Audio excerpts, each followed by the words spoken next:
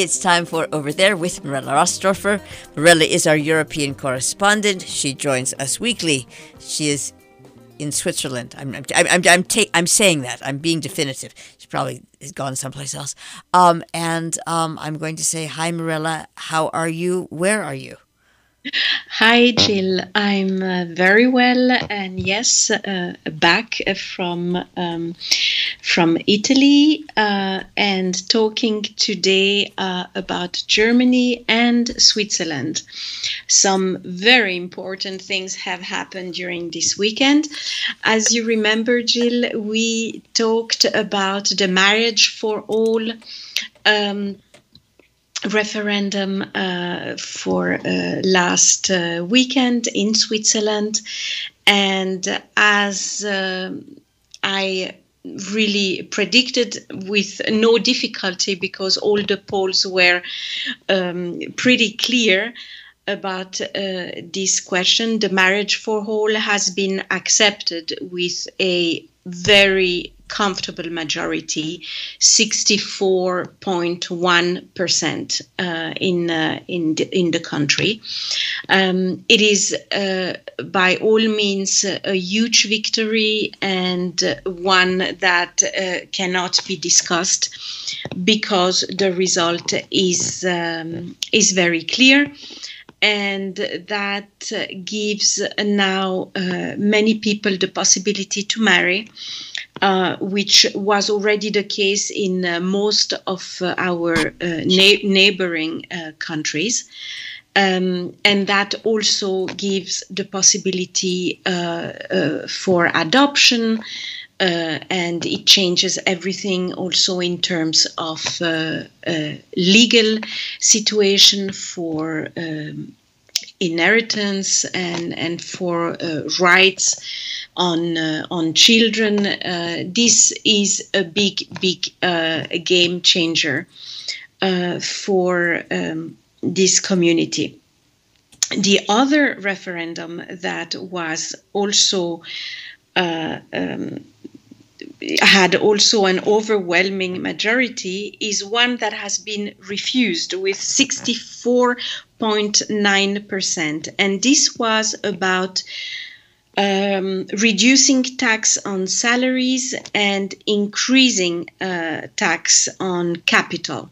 The idea being that um, the party that proposed this referendum wanted to tax the capital of uh, people investing or uh, of people having money without uh, getting that as a salary, but basically possessing money. Uh, and they thought that it would be fair to tax that uh, more because, in their eyes, this was not that money is not due to real labor, to real work, but it's basically capital and it's money working by itself um, again, that is uh, their opinion. Uh, apparently, the Swiss population uh, did not uh, think the same way as it has been refused with 64.9%, almost 65%. Those were the results for Switzerland. Uh, but now let's move on, on on on Germany, which, as uh, everybody knows, had uh, some very important election this uh, last weekend. Um, it, it is about the party, the next party that is going to lead Germany, and also about the next chancellor that is going to replace Angela Merkel after 16 years of um, her being um, the leader with her party, the CDU. Um, there uh, has been a result. It is unfortunately not like the results that we got in Switzerland uh, this past weekend, where it's absolutely clear. It is um, very tight, but the uh, opposition, uh, the, the the SPD, has won with a difference of 1.6 percent that really shows, uh, uh, in all honesty, that the country is really basically uh, split in half. but he won. Uh, Olaf Scholz, the candidate of the SPD, won, and um, it the, the, moral compass would would uh, ask to have him as the next chancellor since uh, his party won, even if it's only 1.6 percent, um, and he would have to basically build a coalition. That is always the case in Germany. One party basically doesn't, in, in the past years, never won enough to be just alone on top. And uh, as you know, the last coalition was actually the SPD and the CDU from Angela Merkel.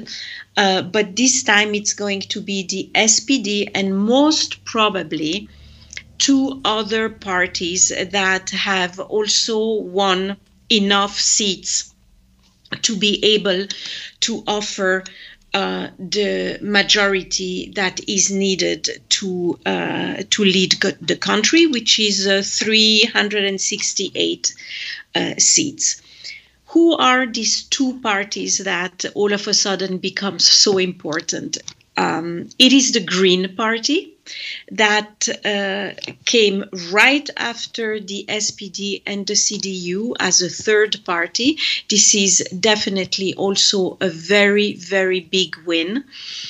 Um, the people who chose to vote for the Green Party are younger. Um, one also it, it has some logical aspects to that uh, but the fact that they uh, won with a percentage of 14.8 giving them 118 uh, seats make them really very important in the next uh, coalition. Um, the next party that will also uh, eventually be part of uh, this new government is the FDP, which is a, a party center right, uh, very pro um, businesses um, would like also to, to restore some debt restrictions, etc., but has also some uh, interesting program in terms of social um, advancement. Um, it's uh, it's the first time um, actually since the the 50s that it's probably going to be a coalition of three parties instead of two parties. And that is also interesting because it, show, it shows that um, uh, the society in Germany, like in many other places, has evolved in a society where um, they, they are um, different needs uh, that means that uh, there is a, a, need for some kind of a social safety. Um, there is an increasing need for uh, climate uh, in general and environment uh, issues. Then, of course, we have economy and um, the handling of the pandemic probably also played some kind of a role in all of this, but actually not um, a very major one. Uh, so it is going to be led by a three party coalition. Now, the question is really to know who's going to accept to be part of that coalition. And now the talks are beginning behind the curtains. Um, I believe, for example, that the Green with Annalena Baerbock and the FT, FDP with uh, Christian Lindner are going to meet first to see probably how they can get along themselves as the two small parties. Um, the Green Party being a little bit more um, leaning to the left, and the FTB, FDP a little bit more leaning to the right, uh, but still having. It, it, that's the interesting point having um, some common some common points. After that, they will uh, meet with probably uh, the, the, the future chancellor Olaf Scholz from the SPD in order to agree on on a program. What is interesting is that the CDU, that is the party of Angela Merkel, is not completely out in the sense that they still have 196 seats. In um, that does mean that theoretically. Uh, they could also build a coalition if all of a sudden the smaller parties would actually prefer to work with them. Uh, but it would be very badly perceived by the German population because there is a sense of fairness uh, that the SPD has won the the um, has won the election, uh, while, as I said before, it's only 1.6 percent.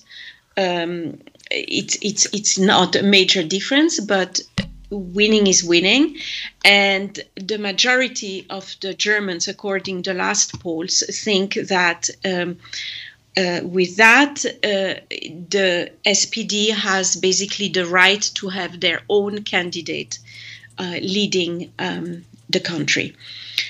As I remember, last time uh, it took about six months of negotiation and talks uh, between the parties in order to confirm Angela Merkel.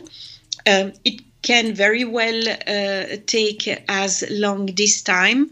Um, it would be a little bit um, bad timing in because there are at the moment so many issues to deal with, um, including the pandemic.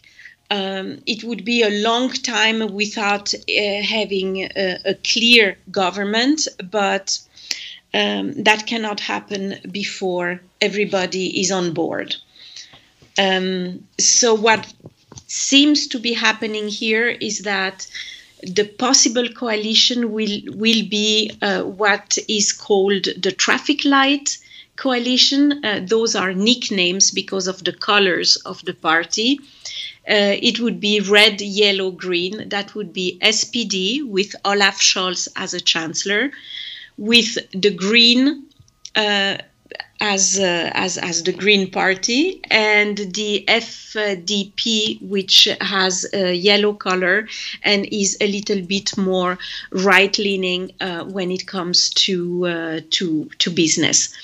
Um, from everything I heard and everything I, have read, um, that could be actually a very balanced coalition because there would be a party that uh, gives a big importance to uh, climate and, and the environment and the future in that sense.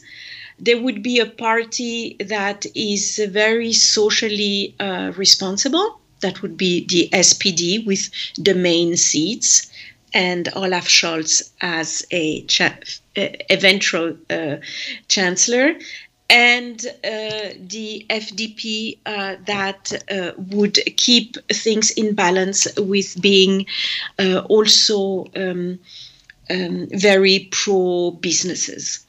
Um, plenty of other coalitions are possible, like I think another four, because I mean, one can play with all these numbers and the numbers of seats. The most important thing is to uh, reach the 368.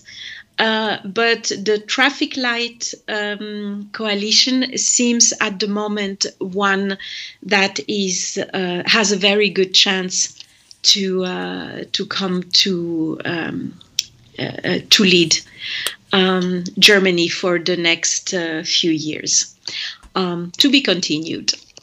Thank you very much, Mirella Rastorfer, over there. My pleasure.